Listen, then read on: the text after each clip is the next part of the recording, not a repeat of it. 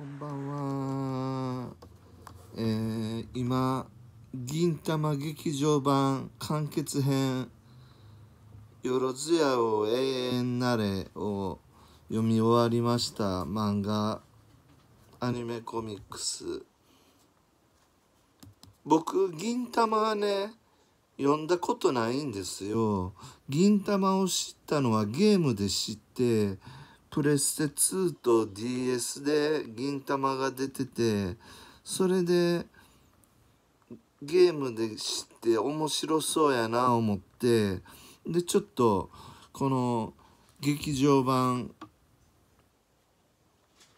完結編いきなり完結編なんですけど劇場版のかんいきなり完結編から読んだんですけど面白かったです。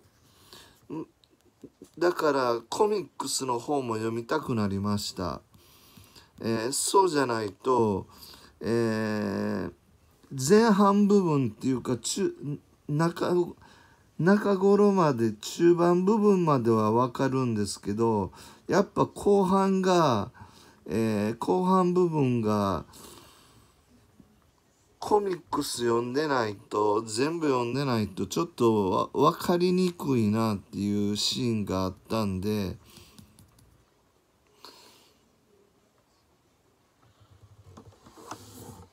だからコミックスをちょっと読みたくなりましたね。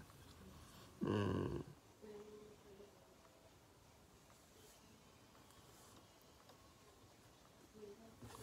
まあストーリーとしてはなんやろう。忍者でもないしま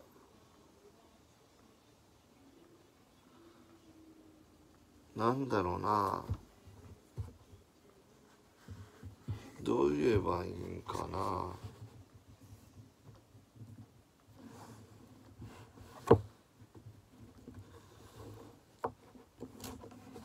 後半部分がねちょっと分かりにくかったんですよねストーリーが。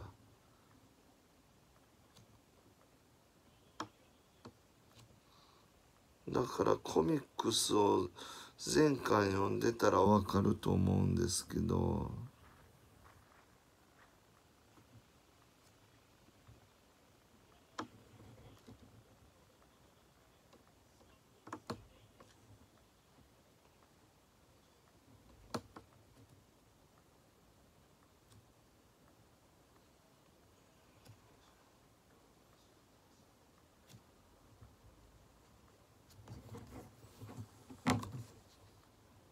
まあ今漫画本読むのにハマってます。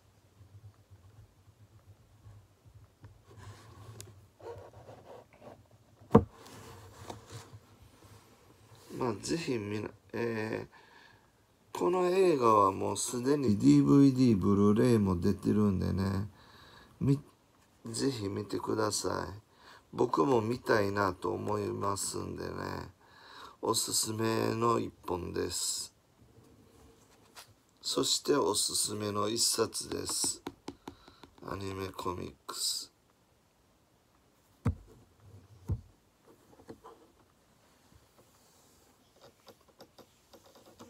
この後はちょっとゲームしようかな思ってます。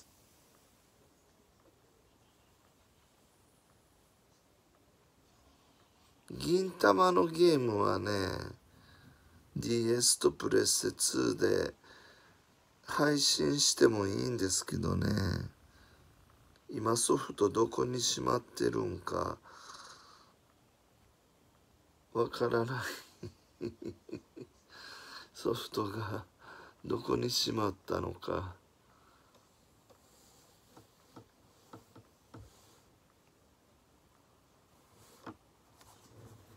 まあ面白いんでぜひ読んでくださ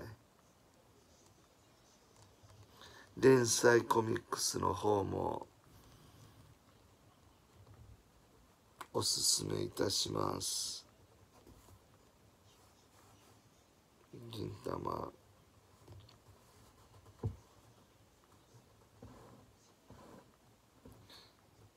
それでは皆さん、えー明日祭日なんでね。まあ仕事の人もいてると思うんでまあゆっくりはできない人もいてると思いますが休みの人はまあいい休週、えー夜を過ごしてください。でお仕事の人はね早く寝て、えー頑張ってください。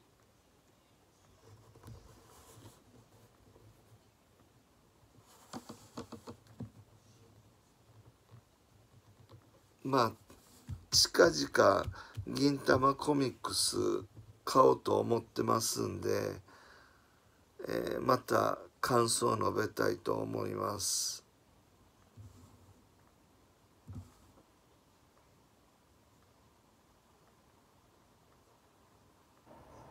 今回は映画の完結編だけを読みました。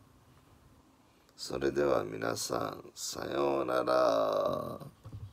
バイバーイ。